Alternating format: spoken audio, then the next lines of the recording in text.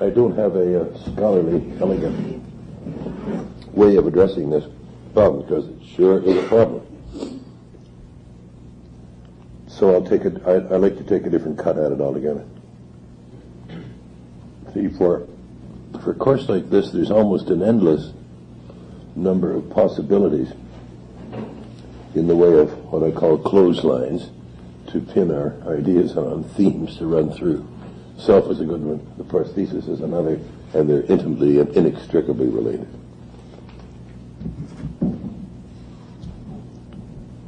When we try to address traditional, cultural, historical perspectives of nature, uh, constructions of reality, if you like, when we do that, we're studying that portion of the prevailing paradigm. Forgive me for using the word, but it's shorthand, and we all know what we mean by it. Studies of that part of the prevailing system of ideas and ideologies, and also of past, earlier consensuses of reality that have to do with social and traditional perceptions of the relationship between us and everything else. Very important at the outset to recognize and all agree that that relationship obviously is a perception only. And unfortunately, when we talk about relationship, we're expressing a dichotomy, no matter how we express it, between A and B, between me and nature. So when we speak of humans and nature, unfortunately, we're still revealing an assumption of dualism, aren't we? No matter how uh, well-intentioned we may be, and uh, in our expression thereof, we're still expressing a dualism. Now, it could be said that that's simply a necessary price we have to pay for communication. I'm not sure about that, but I'll let it rest at that for the moment. There's no other way of talking about it except to objectify it, except to separate it from me. I don't know.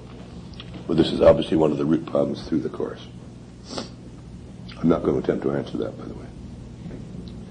So, the concept of self, I shall assert for working purposes here, is an expression of duality or dualism. Because what does it necessitate? The concept of self necessitates the concept of other. So we have a dualism right from the starting blocks. now I have suggested before that one way of looking at this me other or human other problem is to see the paradigm as a prosthetic device. Okay. A surrogate set in place by culture for natural, inherent, intrinsic ways of being alive. But do remember, and I'm repeating, I know what I said last time, but it's important to remember that the prosthesis is not some kind of whim. It's not some kind of happenstance. It's necessary. We couldn't function without it. We must have it. We have to have it in order to function, if only as social beings that we are.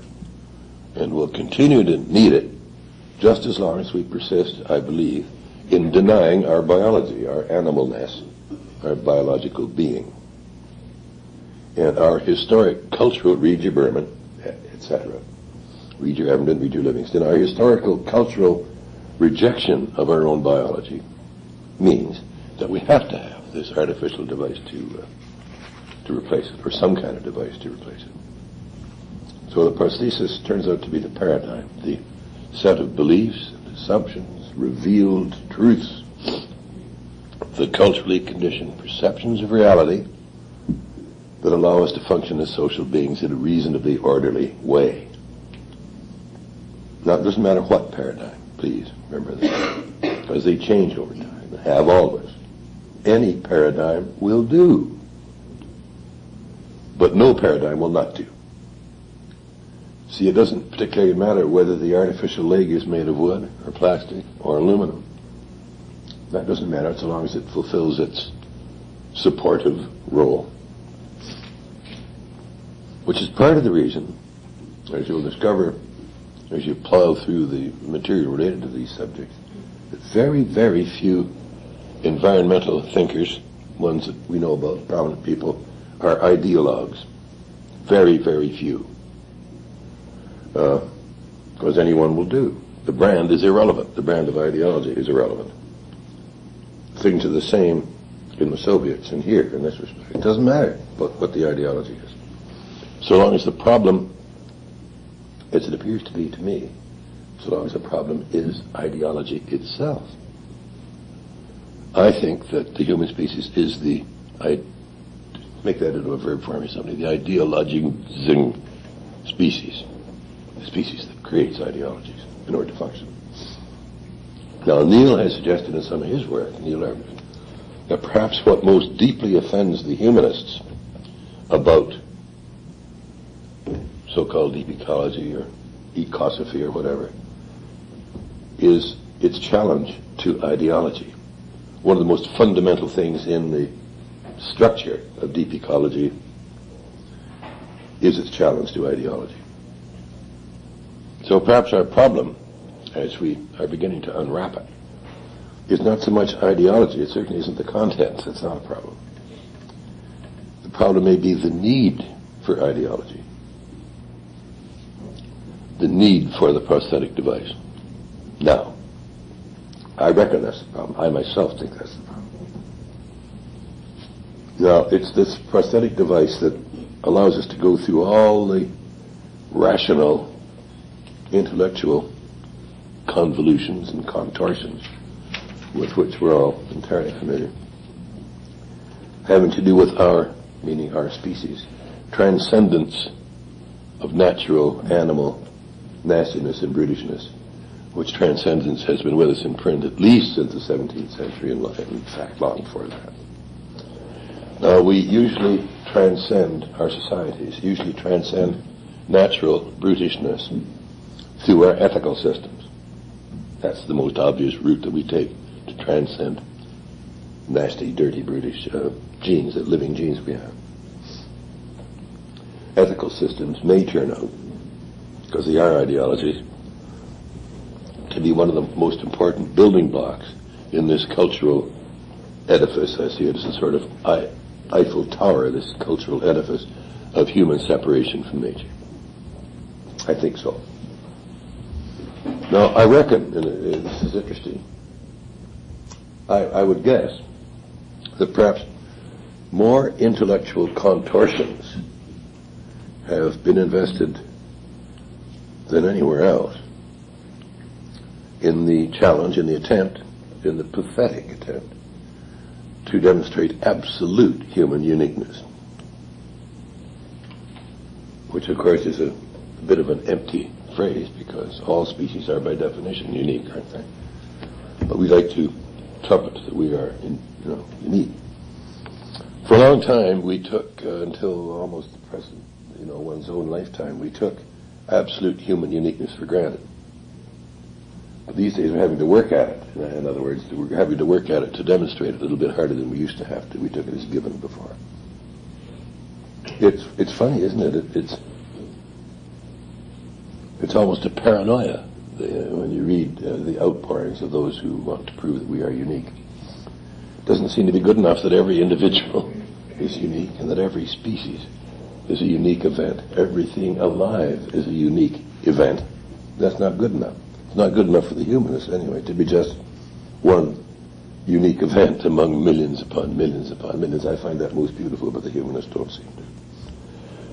We have to be uniquely unique. Know, all right. All species are unique, Abraham Lincoln. All species are unique, but one is more unique than the others, which is more than just bad English. It's bad English to start with, but it's more than that. More unique than others. Long since, you see, in our in our search for uniqueness, we've had to give up on various characteristics that we took to be unique. Tool using, then tool making, then language, then traditions and cultures. All these had to be jettisoned as we went along. All this in our own time. Even abstraction. See, problem solving is abstraction, damn it. and lots of beings, including even invertebrates, problem solve. We had to give up on teaching and learning because this is evident all around us. We had to give up on cooperation and strategizing, which is conceptualizing and abstraction. If what is strategizing if it isn't abstraction? Okay. It doesn't leave an awful lot left, does it, for our uniqueness? But the ultimate fallback position, and there's always an ultimate fallback position, the central jewel in the crown of human uniqueness has always been self-awareness. But then along came, this was torpedoed about 20 years ago by a little child, little chimpanzee child called Washoe. Washoe was now a grown, aging chimp with grandchildren, but at the time she was a little shrimp, and she was being raised in, raised in experiments, in the first experiments in sign language. Remember, they taught chimps to sign in the American Sign Language uh. She was the first one who did this. And one, there was a mirror in her place where she was living with these people. And, uh, there was a, a good-sized mirror up against the wall, and she'd look in it from time to time. And after she'd learned to speak quite fluently, they, they said to her, Washoe, what's that? She looked in the mirror and signed, that's me. Now, the world has never been the same since because this shattered, uh, uniquely human self-awareness went on and on and on, and she did many other things. But that one was the was really throwing a grenade right into the midst of the anthropological, sociological, primatological uh, communities. And she did it over and over again. It was quite clear that she knew what she was talking about. Anyway, so Washoe, dear little thing, was self-aware. So what were we going to do about that? Panic, pandemonium reigned. Well, of course, we did. This is, gets really tricky. I'm not saying it's conspiratorial because uh, you've heard me speak about conspiracy before. So what we do about that? What we did was we point out, and this is really neat and tricky, that Washoe wasn't aware that she was self-aware. this, this is dead serious. Dead serious. It's published everywhere. Rigid defense of, of the humanistic position. It's absolutely true this was said. Not in these words, but I mean this is what was said. Now we couldn't know that. Obviously we could not know that. How the hell could we know that? But it was very important, see, to the collective self-esteem that we asserted anyhow. Ultimate fallback position. The human uniqueness then is awareness of self-awareness. I'm only being ever so slightly tongue-in-cheek about this. It's pretty straight stuff in the literature. I haven't a shred of doubt that once we find other species aware of self-awareness we can no longer deny it, then we'll plead that we, on the other hand, are aware of our awareness, of our self-awareness. And I'm only mildly teasing because this is the kind of stuff that you read. Now, self-awareness has a terrible way of muddying the waters in most discussions of, oh, what? Vivisection, let's say, is it?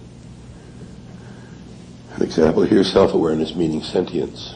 That's the way it's used in that context. It's okay to commit the unspeakable cruelties on beings which are not self-aware. So it's in our interest, at the interest of our conscience, to see them as not being self-aware, so that we can barbarize them. Why I've never understood, but this is the way it goes.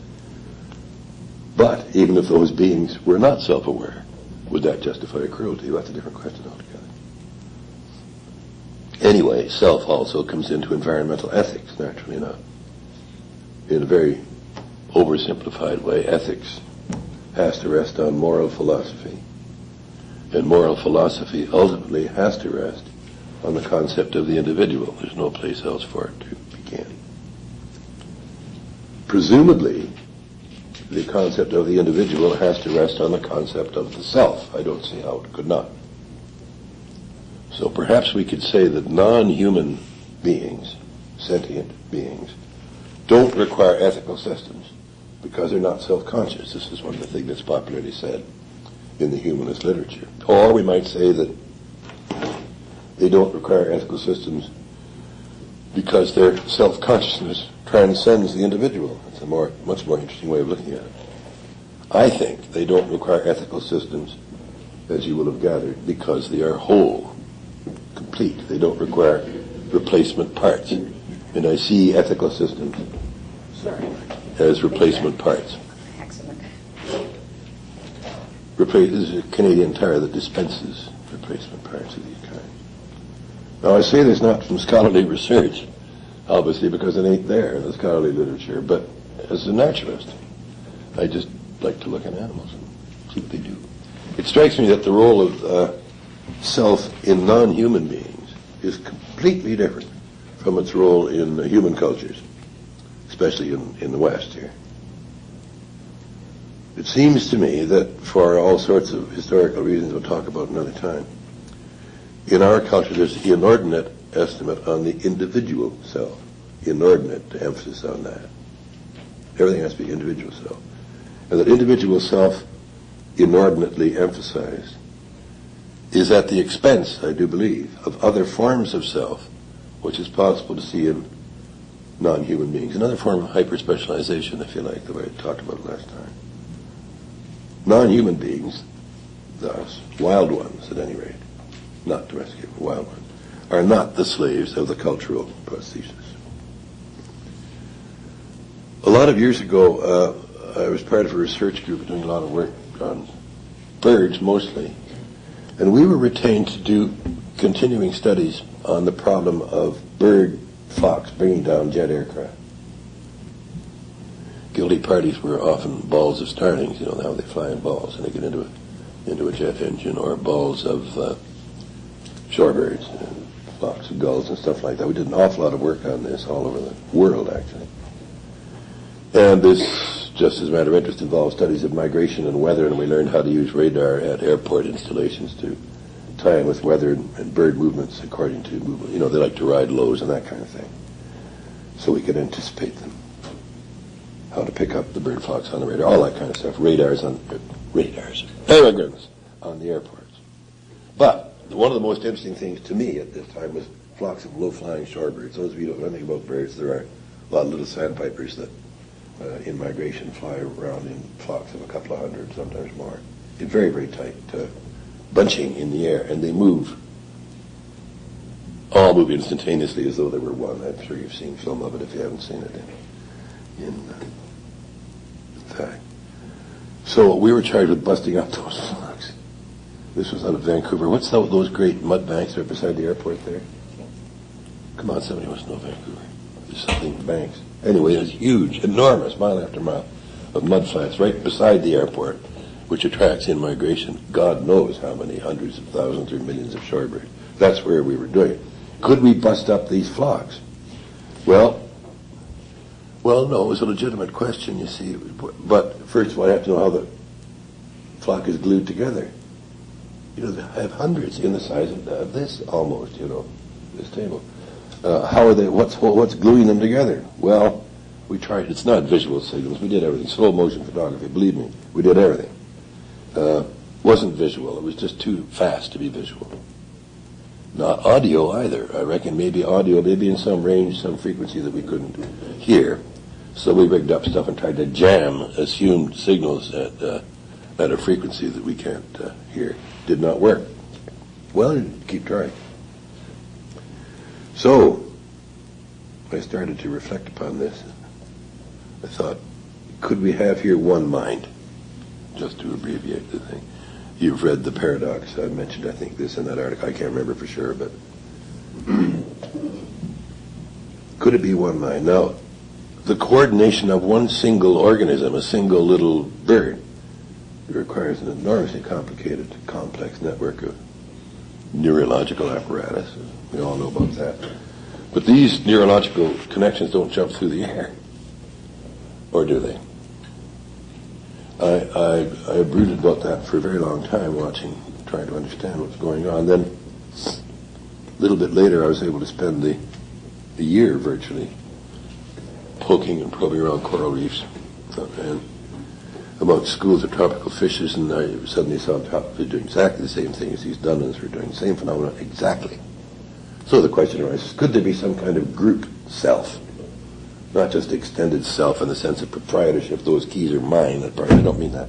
A group self here, perhaps, where the sense of individuality is transcended by one mind, a greater sense of self, allowing that whole school of fishes for that whole flock of dunlins and shorebirds to behave as one being. Not to behave as one being, to be one being. I think there is. And I call it group self. Scientists are still studying that. Well, depending on the species, of course. I'm not generalizing to everything. I call it group self for now. Now, group self is obvious. It's undeniable in these groups of shorebirds on the mudflats, or a tight school of, uh, of fishes. But we have to think then of an aggregation of beings that's not quite as tightly organized as that. Uh, we also have to think of those birds or fishes in the breeding season when they're going to be dispersed, at least the birds are. And in the latter case, in the breeding time, I think the, uh, the group self shrinks just to the number of the family in its locality. That's easy enough to comprehend. But of course, precious individualism that we hold so highly in such great esteem wouldn't help much in the breeding season, would it? So there's got to be more than individualism. There's got to be at least a two and then a batch of young. Plus the habitat. I'll talk about that later. There are in many birds a magic number below which they will not breed anyhow. And this has mystified, uh, mystified biologists for years. If you reduce a, uh, a flock of oh, some of the sea nests, uh, some of the hawks, let's say, those, beyond a certain level in their traditional colonies, the damn thing simply won't nest. What is this all about? Lots of speculation. Nobody knows.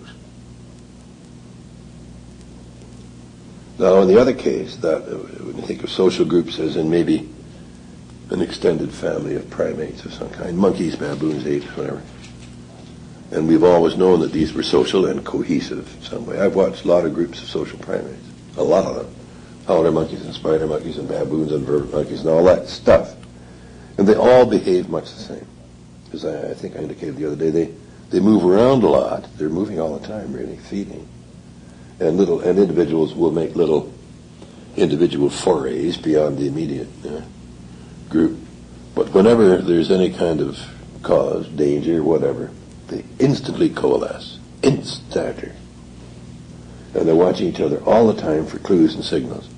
Even when they don't appear to be watching or listening, or somehow they pick up the behavioral consensus, if I can put it that way, from moment to moment. They behave as one being. Now, looser still in terms of physical sprawl are herds of the hoofed animals, all the zebras and wildebeestes and mountain sheep and whatever it might be. But still they're within seeing distance, all these. All. And again, they seem to behave in concert. I don't know how.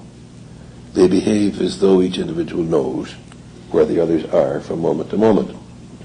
Bears do too. Some animals disperse even more widely than these ungulates do, these hoofed animals. We wouldn't call social at all. This is where bears came up the other day. Now, bears we usually think of as being loners. This is somewhat inaccurate. Because mature females nearly always have one or two two-year-old youngsters with them. The males tend to forage alone, but they gather where there's food, salmon runs or dumps or whatever it might be. And incidentally, I've never seen any fighting at any of these gatherings, even in even in Churchill, where you get polar bears coming out of your ears, but they're not fighting. They're there doing their stuff. But bears just have to forage widely. They've got to. But the funny thing is, and this is what I was saying the other day, that they always seem to know where everybody else is, no matter how far away they are. Uh, Shepard, uh, Paul Shepard has a book called The Sacred Paw. I'm quoting him now. Uh, a long, nice paragraph. If socialization is defined by living in packs or year-round mate association, then bears are solitary. But perhaps the net of bear sociality is cast so wide the primate observers, like men, with their poorer senses of smell and hearing, cannot appreciate its subtlety and its scale. If bears have in their heads a constantly revised map of the location of other individual bears, should we not consider them as truly socially oriented? And I would agree with his rhetorical question and say yes. I think it might advance our understanding a little bit if we were to move from, say, a socially constructed construction of reality to some other dimension altogether, a extended group self, then we might be getting somewhere, I think. After all, why force fit all the time? Why force fit sociality with all of its ethicals and, you know, other prosthetic imperatives on beings who don't need it? Why should we project all this stuff upon other beings? I don't understand it. So now I think we're coming closer to what Neil Evernden has expressed in his book as fields uh, of self. And I'm very, I'm very attracted by that image, and I'll use it. I'll speak about it another time in another context. On the tundra, see, then, when I watch, I can perceive beardom, if I can put it that way. It's a great Geesley field containing several units, individual bears within a net, as Paul Shepard calls it, of extended bear self. So it's got to be something like that. Now I'm suggesting here a group self and a group self-consciousness. The individual Dunlin, the individual little sandpiper, conscious of the greater self of which it's part. The individual fish, the bear, the howler monkey, whatever. So, viewed in this way, view these phenomena in this way, then we're no longer shackled and fettered and handcuffed by these terribly slippery definitions of sociality. Chuck it. Group self. Dare I say, as Berman suggests, a species of participating consciousness. Well, I think that I like that notion, and I think I like the, as, as Berman describes it. I think so. Just look at a beehive or a termite hill or a seabird colony or a school of dolphins or anything. Or, my lord, a herd of elephants. now, just for a moment, uh, sentience. Um, we say an individual organism is sentient if it's aware of and responsive to external stimuli. Uh, that's the simplest ground level definition. It's at least to some extent autonomous in its individual actions, individual responses. I'd say that it's self-conscious as an individual if it can perceive a choice between two options and is capable of exercising that choice. I think that's reasonable enough. If it can perceive a choice and, and act on it. The matter of intentionality comes in here, obviously, self, other, subject, object, whatever. Now, whether a definition like that might or might not include at least some forms of plants, I can't say. I suspect it probably does. I once had a graduate student who had a spider plant who loved him and hated me. This is true. It would approach him, I think because he smoked pot and he liked, the, the plant liked the, uh, the smell of it or something. Anyway, it would, it would swing towards him and I would come and it would uh, avoid me. Anyway, subject, object, all that kind of stuff. Anyway, whether that includes plants, I don't know. Do I ask a question on this one, or is this, I'd rather you didn't. okay? because I want to make the argument. It would seem to include all animals, this choice making, that are mobile, or at the very least motile. Obviously, that suggestion is just as unprovable as the prevailing one, that only we are self-conscious. That's not provable either. So my hypothesis is no more valid than conventional wisdom, but remember, it's no less valid either on the evidence that we have. See, I'm in process of suggesting that individual self-consciousness is the most basic, the most fundamental, the most radical form of consciousness. Individual self-consciousness, the basic one. But the strange thing is that in Western societies, at least, individual self-consciousness, individual self-awareness has been elevated and raised to such a pinnacle of importance that we've utterly forgotten about group self-consciousness, group self-awareness. This individuality and individuation I'll talk about another time. You realize that had this hyper-specialization on individual self been the result of biological process rather than cultural process, we could see it as a terribly hazardous venture out onto an evolutionary limb. But it didn't happen that way. Because the evolutionary process reacts very harshly to hyper-specialization. But of course we got away with it because it's just in our heads, not in our biology. And that's how we got away with it. I'd argue that in the course of our cultural evolution, not our bi- uh, biological evolution, but our cultural evolution, we trade it off, whether consciously or not, other more sophisticated, more appropriate, more mutualistic, more integrative, dare I say, higher forms of consciousness for the one with which we have decided to live. The role of Christianity and other monotheistic religions is in promoting that aberration, of course, incalculable. So I, I posit the following.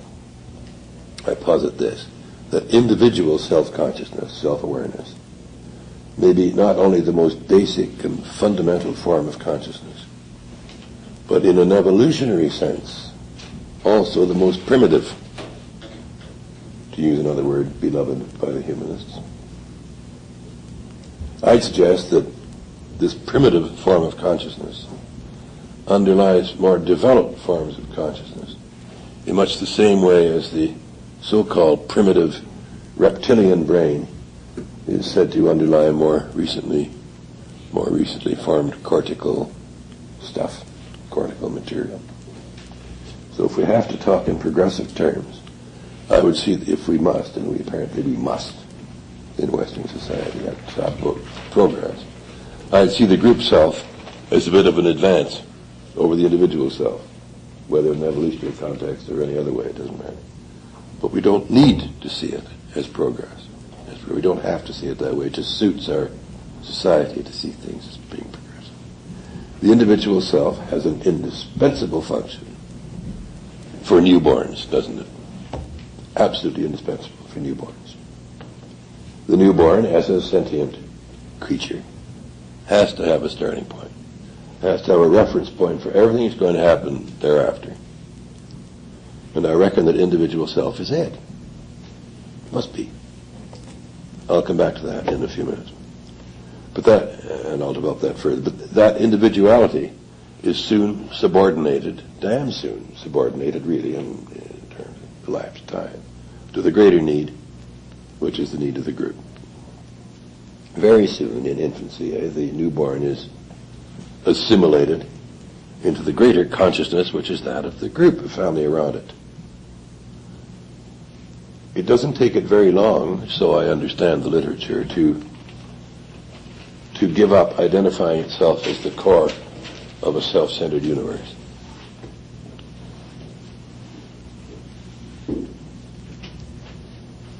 There's another way in which it drops that, obviously, and becomes part of the group, part of the community.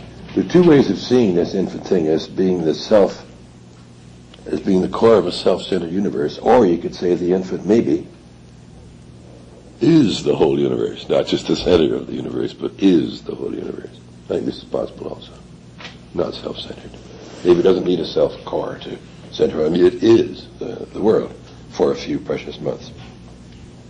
Anyway, it, it turns into a participant in a family-centered universe. Clearly, it does that relatively soon, which I can see as a group self-consciousness. And where the process moves from there, I think, depends entirely on the biology of the species that we're talking about, the ecology, the life history of the species, where it goes from there. For bears, it's a pretty loose arrangement. For wasps, it's hyper concentration. It doesn't much matter. It doesn't matter at all, in fact, because the principle is the same. Now we come to a level that's an awful lot more problematical. Uh, beyond the group consciousness, I will cheerfully posit a community consciousness It's more problematical because uh, the conventional wisdom has no alternative, really, but to grant the existence of a group self-interest, at the very least, in beings that are obviously social. But the construction of an ecologic reality would have more difficult in seeing a self-interest in terms of groups of species, groups of species and associations, and of course community. Now we're talking multi-species situations. But of course, the most basic premise of ecology, interrelatedness, I guess, is the most basic, is all about mutualism. What else, after all, is it about if it isn't about mutualism? Now, it would be anthropomorphic to talk about mutual aid. We leave that to Peter Kay. So instead, we talk of mutualism instead of mutual aid. And mutualism is a perfectly respectable word in biology. And mutual aid is not, because we're not allowed to see non-human animals offering aid. So, instead of that, we talk about reciprocity. And we can begin freely to talk about reciprocity now, out of studies in ethology. So it seems to me to be, we can speak reciprocity now. It's okay, chaps, you can. This is new. It seems to me to be undeniable that any natural community, let's say a beaver pond or something like that, or a mangrove island, one of these, has got a self-interest in its continuance as a, as a whole. All participants in that community, all conscious participants in that community, are in the business of maintaining that community. Remember that the thrust of biological activity and of evolutionary uh, activity is conservative. It is ultra conservative. Animals and pl- plants and communities are in the vested business of maintaining the status quo, always. Romer, uh, Al Romer, who used to be the head of the paleontology at, Harvard, used to say, he had a thing called Romer's Rule. It was called Romer's Rule by others, not by him. About the conservatism of evolutionary process, because the fight is to maintain to go on living the old ways and doing the old things under changed circumstances. What are our native Indians if they're not ultra conservative? Because they want to keep on with the old ways. However, the context for doing those old ways changes because things are changing all the time. So in trying to perpetuate the old ways of doing, whether it's a stranded fish or whatever, you struggle more and more to keep doing the old ways, and some anomaly in your midst becomes a new species. The coelacanth, the Romer thing was the coelacanth, you know, the lungfish, stranded on the beach, was trying not to turn into an amphibian. It was trying desperately hard to find water. And it found, to get in to breathe. And it had these little stubby, funny fins, and they were strong enough to enable it to get to water. And its fins got, uh, so it was that drive to get to the water that all of a sudden he found he could run on the land. And lo and behold, evolution had delivered the first uh, terrestrial animal. But it was in his paroxysm of fear, if it were, if, put it that way, to get to some another pond that caused him to walk in the first place. Conservatism of evolutionary adaptation is the point. That's all. The self-interest in a in a group of species, just like the self-interest of a community of the same species, is just as clear, it seems to me, in ecology.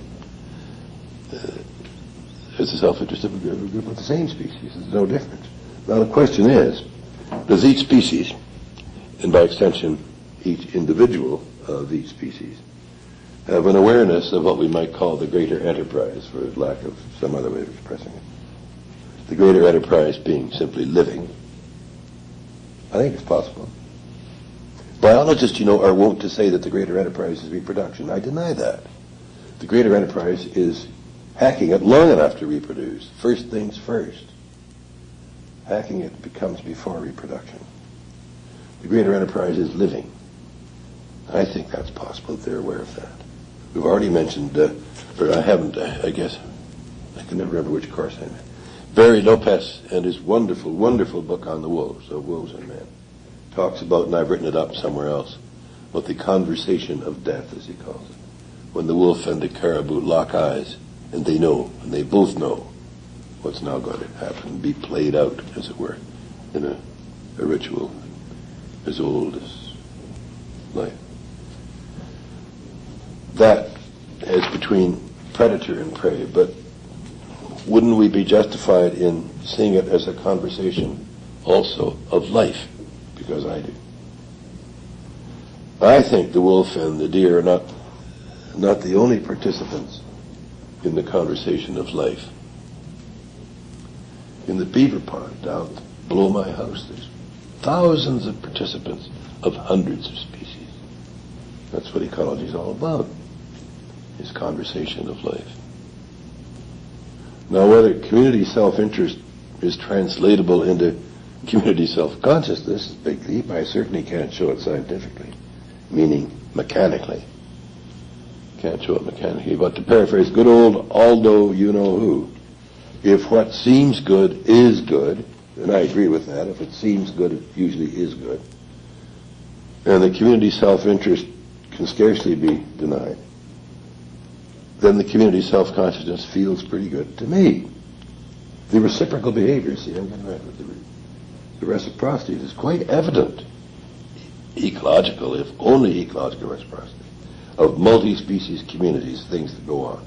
The sheer beauty of all these interrelationships, of all the participants doing their stuff and reciprocating, seems to me to scream know, some kind of collective awareness of the collective. Now, ecologic succession is generally about plants, as you know, because plants are the yardsticks that we most often use to to uh, describe community.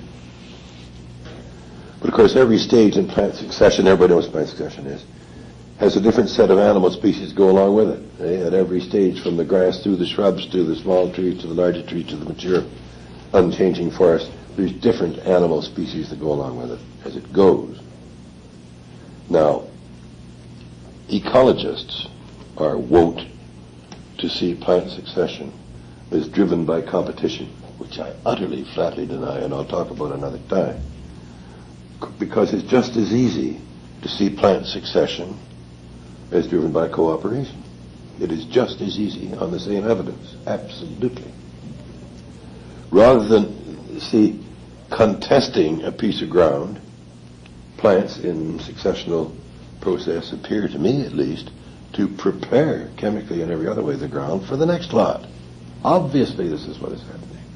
That the pioneer, so-called pioneering plants are chemically and otherwise preparing the humus for the next lot that's going to come in. That doesn't look like competition to me. And of course for the next lot of animals also. They're both anthropomorphisms and I do not deny it for a moment.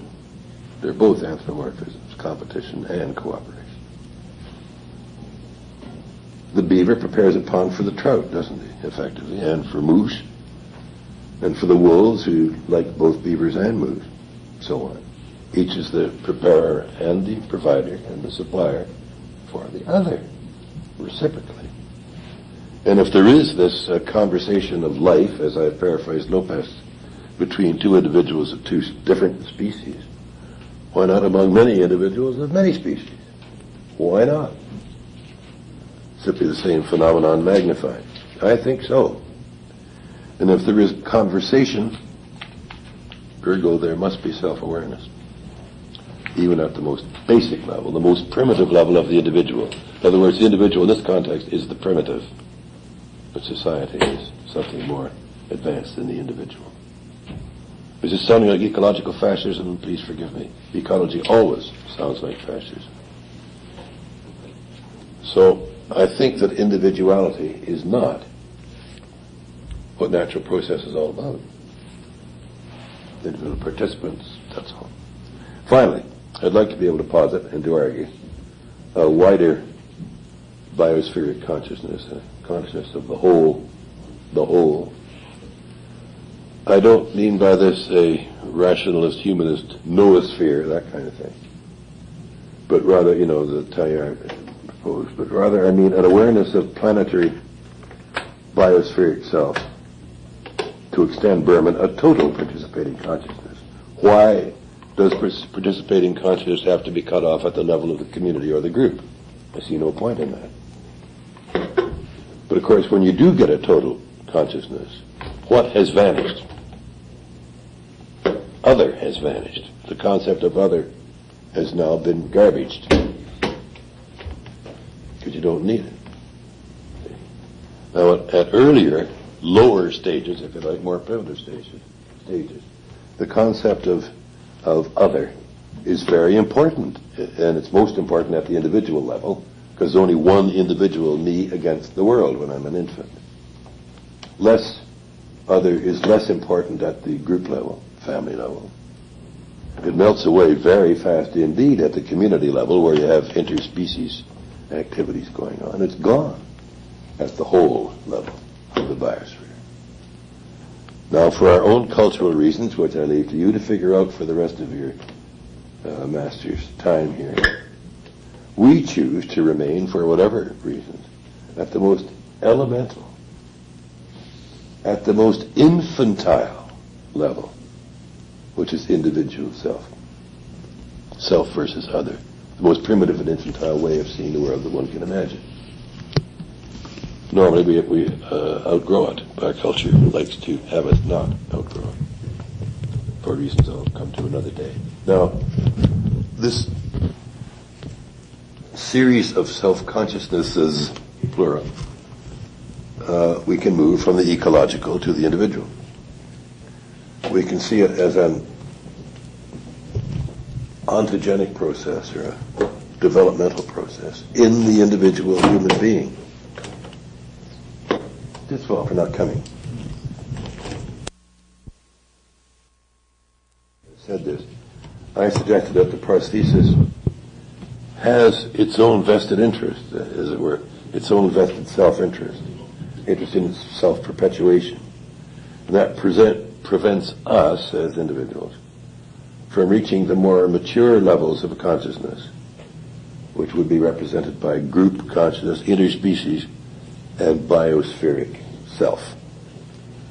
Because were we to be allowed to do this, the whole humanistic ideological infrastructure would implode. And let's not forget all the sundry vested interests in the paradigm, of course, from technology to philosophy to humanities to science and lots and lots more. Science both hard and soft, I would say to you. But the news is not all that bad.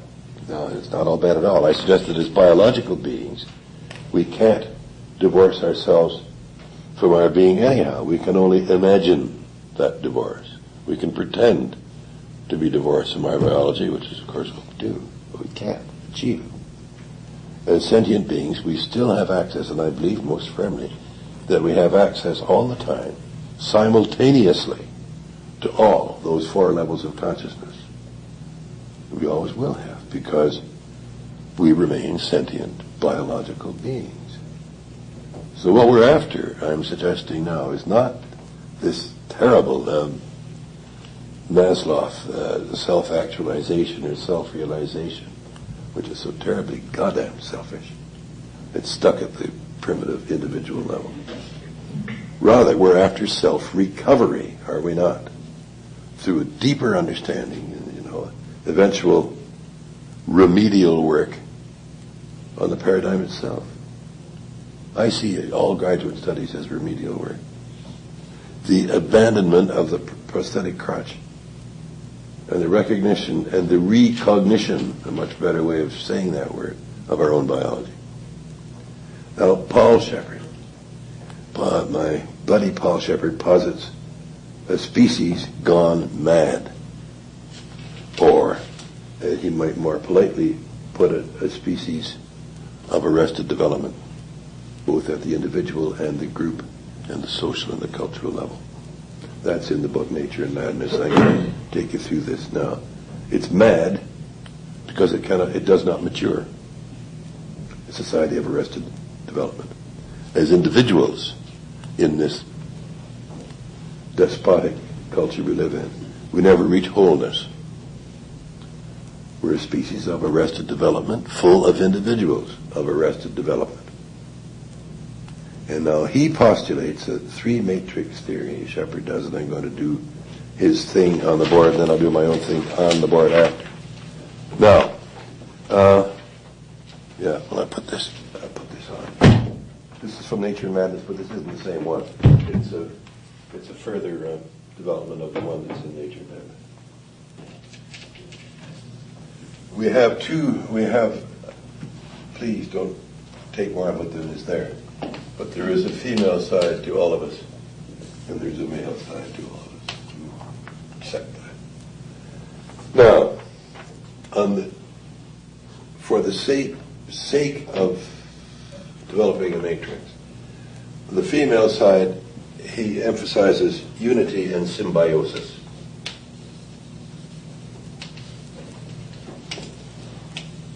The male side, he emphasizes, and this is not pejorative, separation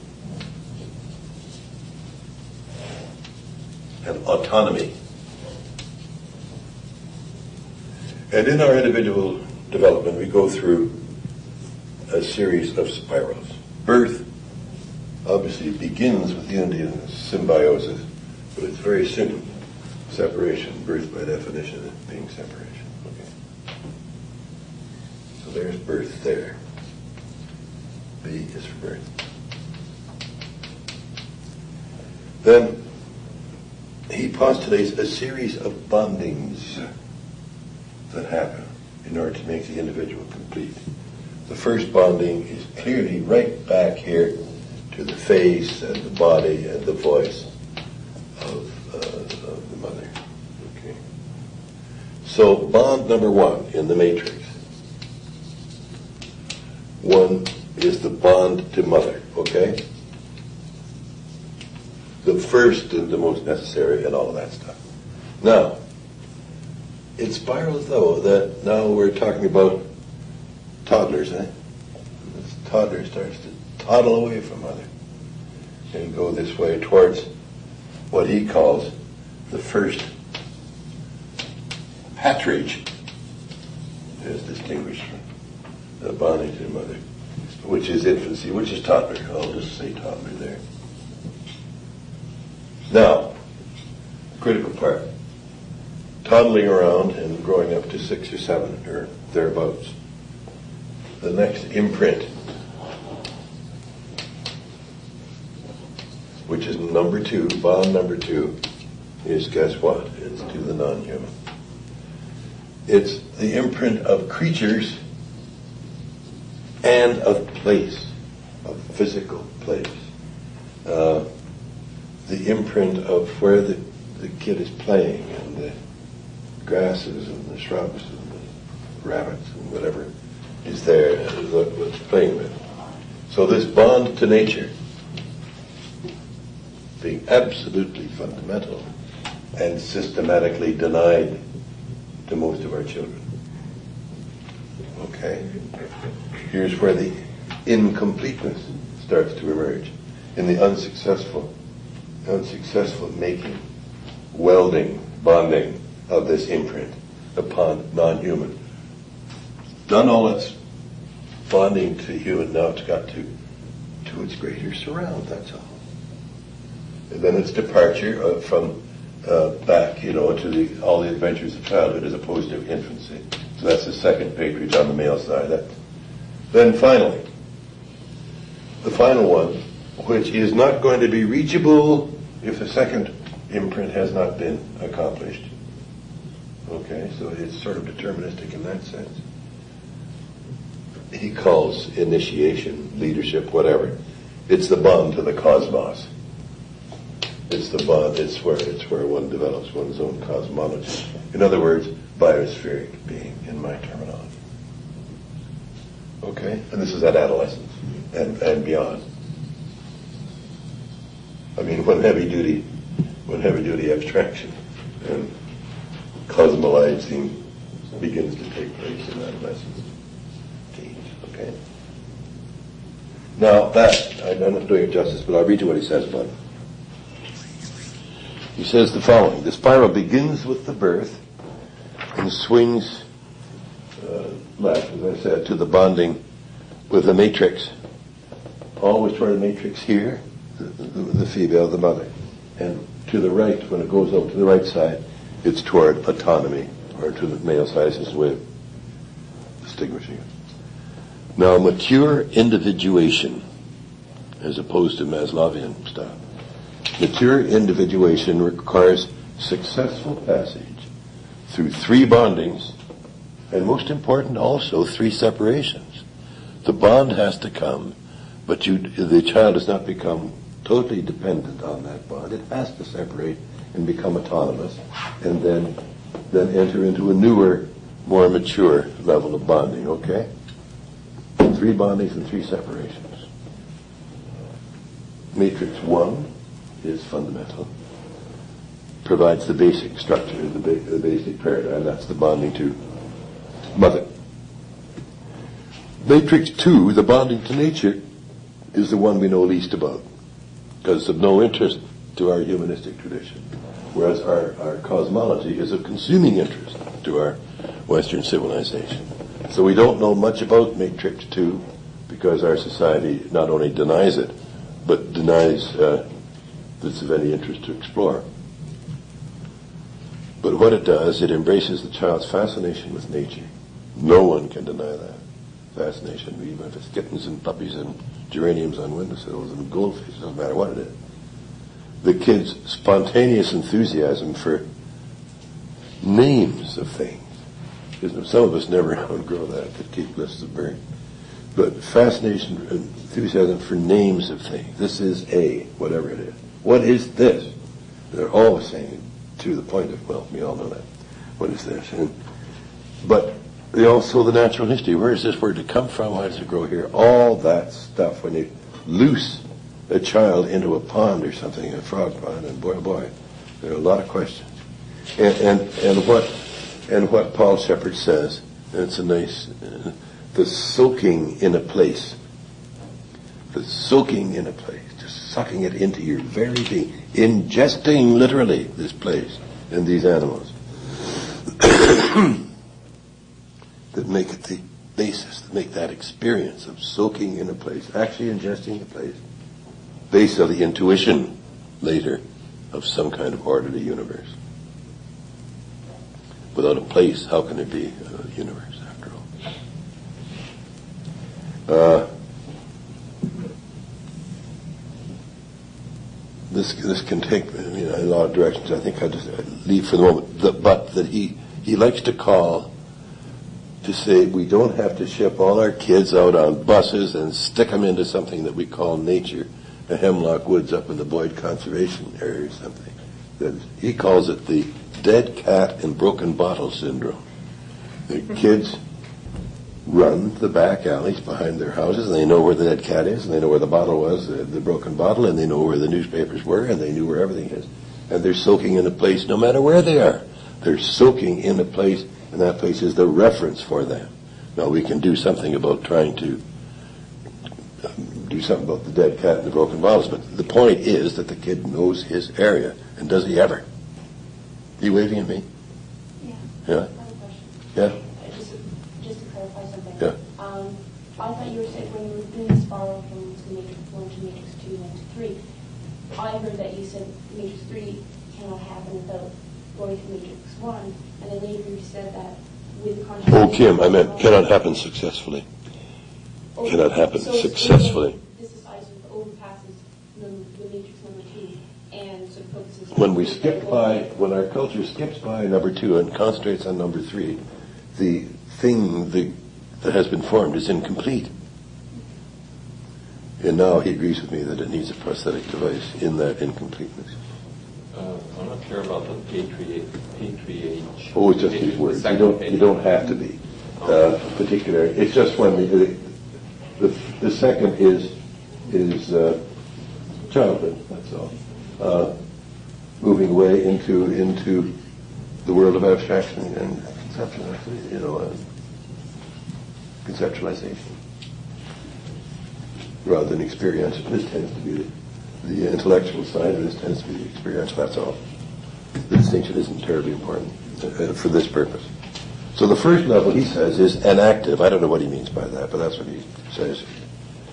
The second level being iconic, nature, and the third symbolic. And if we don't understand, if we don't have our icons, our places, our selves being greater than ourselves, then how in the world can we enter symbolic and entertain any kind of cosmology at all? As he says, the religious concepts of phase three, matrix three. And, the, and most particularly the language that's used to describe those religious concepts depend utterly on metaphors that come from the first two levels. This is where the metaphors are created and are, uh, and are retained. Okay? Now, what Shepard's saying there is that these successive bondings culminate in the mature sense of the separate self, as opposed to the primitive sense of, or infantile sense of. As he says, individuation then is a prologue to further epigenesis. Now he's seeing self, see, as an ontogenic achievement. It always adds up to a whole self. I'd suggest that his final stage probably represents all four selves simultaneously, as I was trying to uh, indicate. I think this represents this. I'll show, try to show you this uh, um, as a, these four cells as kind of an ontogenic process. In the middle, in the beginning, here we were sitting in the beginning, you know, individual, which I've already uh, labeled as being infantile. This could be considered both as ontogeny and evolution. Okay. That's the core. Then the instant, the next thing is group, as I said. Now, from a,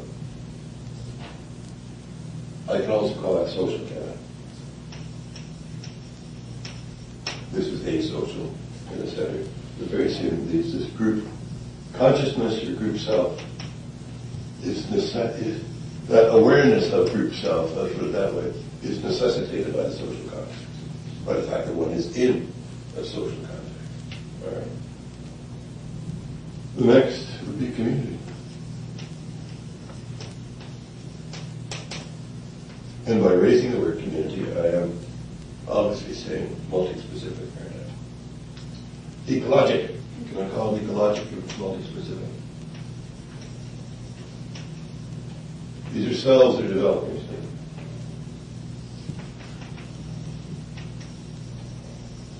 The ecologic. Community self is in ecologic participation, individual participation, social participation, ecology, multi-species participation. Now the whole is course the good old fire which is whole. Whole works. But in Shepard's terminology, I would call this mature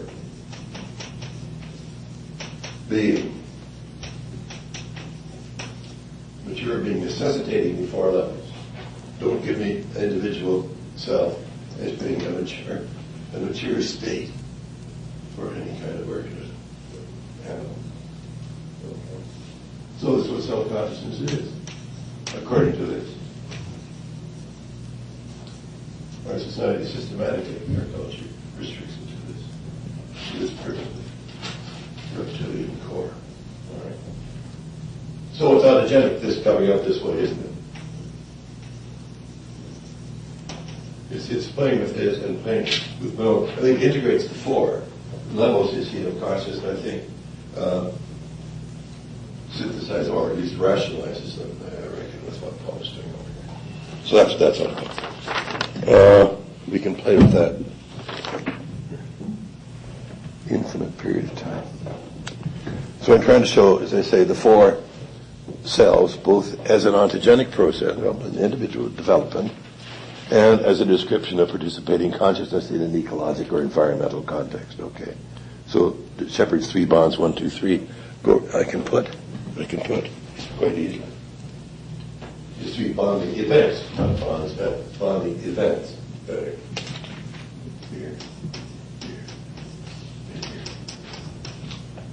Bonding to mother, bonding uh, to nature, to the cosmos.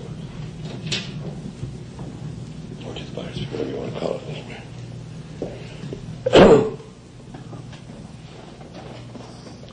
Now, in that scheme of, of mine, the individual self, and implicit in it, I didn't put it, but implicit in that is that the concept of individual self and also the concept of other, both of them, diminish in significance as we move outward, as we hopefully mature. Okay?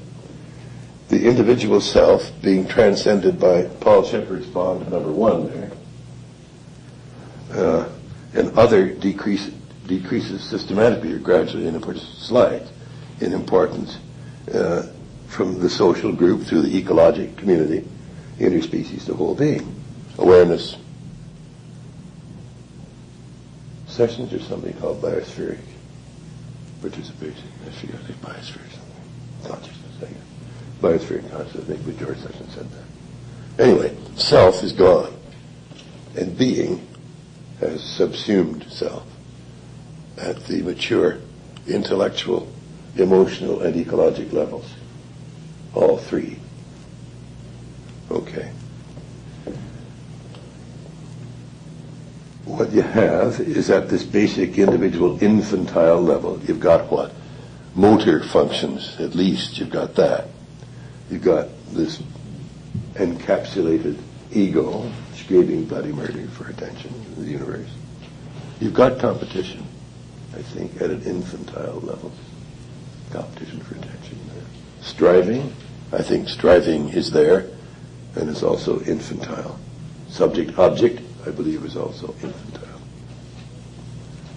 And the infantile level, whether it's Paul's or mine, blends into the resourcist mode, if you like, at the shallowest level of the group. Then at the group social level, you've got emerging cooperation beginning. Starts there, somewhere there. You've got emerging compliance with the greater good. You've got emerging, very basic, but there, symbiosis, emerging at the group social level. Clearly you've got family, kin, band, all that stuff. But it's still speciesist because it's my family, right or wrong, by extension my species. So it is still speciesist in its worldview. Still, us baboons are more important than those vervet. Still resourcist in the interest of the group. Still group self as opposed to that other stuff out there. And there's some intra-species competition and all that kind of stuff, and aggressiveness at that low level of the group self. Still. At the interspecies level, oh no, we're just going through, we're going up the scale. Sorry for talking about up and down hierarchy. I'm only human. I, my ancestors were Calvinists. I can't help talking about it. I'll try. At the at the interspecies, the ecologic level, the community level, you get interspecies reciprocity. Very important. Utterly important. You get ecologic compliance, which is a state greater than interpersonal compliance.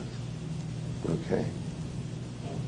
At that level, where you've got total ecologic compliance, and if you don't like compliance, you may not, you can say participation, but ecologic. At that stage, otherness is gone. It has lost meaning. It no longer has a role in the conceptual universe. It no longer has a role in functioning as uh, healthy, blue-blooded beings.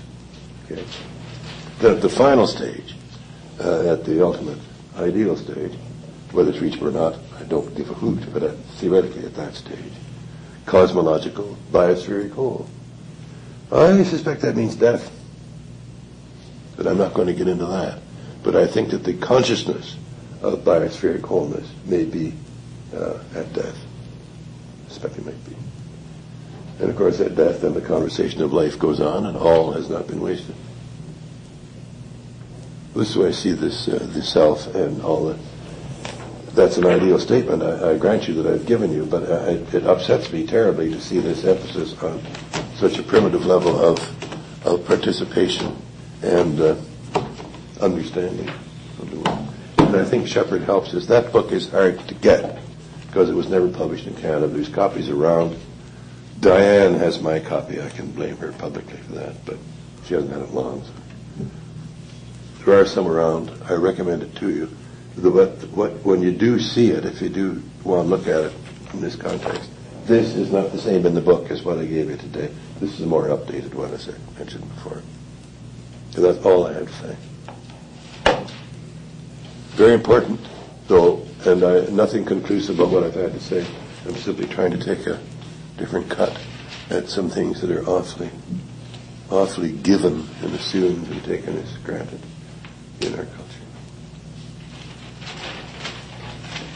Just out of curiosity, um, in the Niagara Escarpment episode of The Nature of Things, Oh, yeah. you sort of suggest that, that the dichotomy, the sense of uh, not understanding that we are other species, you alluded to that.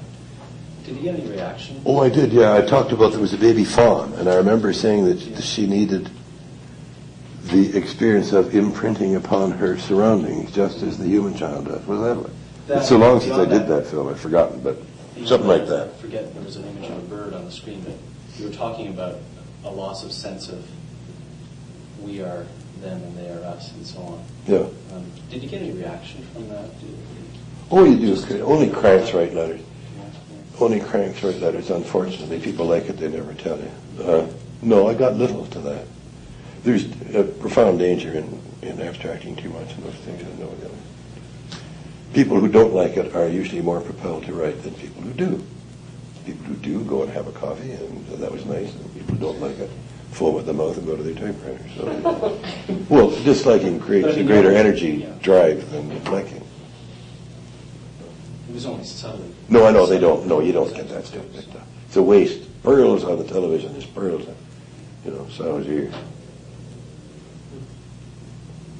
The pearls aren't picked up on television. Believe me. So, who wants to uh, take on take on selfness?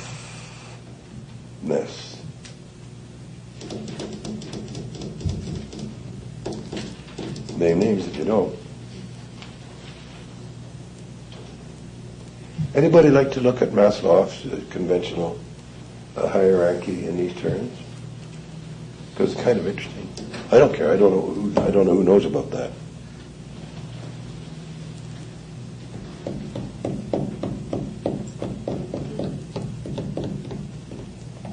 Nobody wants to. Nobody turned on by this uh, whole thing. It really turns me on. I'm surprised to find. Well, I am glad you had one. Yeah, I know you did. We'd love to have it every time, but, but uh, who did I hear? Who else did I hear? Vicky? Jim? Okay. All right, that's fine. See, it all needs is one. I don't need three each time, but the more you do, the more fun it is anyway, so that's fine. Okay, you're on. Do try, if you, do we have somebody here with social psych background? No, we don't. Oh, do we? Nope. Okay. Look at the map off just for fun and see. Well, you know it anyway. I mean, They've you know it. out the window. What? They've thrown that out. I guess so. No, but there's still this drive, this progressive drive. That's all. I don't care about Maslow's categories, please. I didn't mean that. I meant this drive toward uh, the assumption that uh, that self-awareness being the apogee and the peak. And wow, when you think about it. Wow, when do you think about it. So I would like your criticisms of mine and, and Paul Shepard's. That's what I want. Okay. Any more? Is there any question? What time is it? Do we, have time for a little bit of question? I'm going back to bed. Yeah, we've got a little time. I've got to go to something. I've got to cut a little bit short, but yeah, we have some time. Well, I- I'd just like to ask at the level of the, of uh, the biosphere, um, do you, do you see any parallels between the, when people are talking about Gaia consciousness and your concept? No, I do not. You don't? No. Do you want a short thing, a couple of minutes on the Gaia hypothesis? Yeah. Do you know the, the hypothesis Teilhard de Chardin, the French Jesuit mystic and paleontologist? Does everybody know about this, what I'm talking about? Teilhard in the early, okay, Teilhard in the early part of this century, in the 20s, was a Jesuit priest, E T-H-E-I-L-H-A-R-D, de Chardin, C-H-A-R-D-I-N, was a, a paleontologist, and he was involved with that Canadian who discovered Pithecanthropus erectus, Sinanthropus, Peking man thing, Homo erectus now. That was in the early 20s, some Canadian guy from McGill and Ty were there anyway. The fact of evolution, Teilhard could not deny. It was there. He was a, a very well informed man.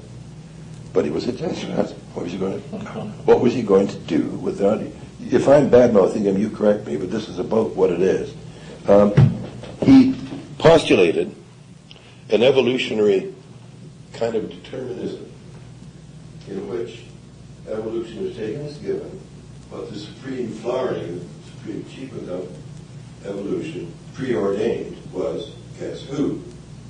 Uh, God's plan was to set this age-old process in motion so as to produce this in His image. Okay. But even more than the simple necessity of His image having been created on earth through this long, terrible, terrible, pretty costly thing when you think of the millions upon millions of species that had to be rendered extinct in order to deliver the, uh, the humility of it uh, establishment. anyway, the world becomes whole. The world becomes whole with a great thing called the noosphere, the sphere of knowledge. There's the biosphere. He speaks of the biosphere, actually. He talks of the biosphere. But beyond it, is the noosphere, because knowing transcends being. Okay, remember who we're talking about. So knowing is far more important than this is more important than my blood or my uh, you know. It envelops the earth. Once all things are known to all, uh, then in that final reflection, it's over. Evolution was set in motion 4.5 billion years ago in order to achieve this moment of universal knowing, and then the reason for evolution having been satisfied, it's over. It's literally over. All this is gone. Now, he talks about self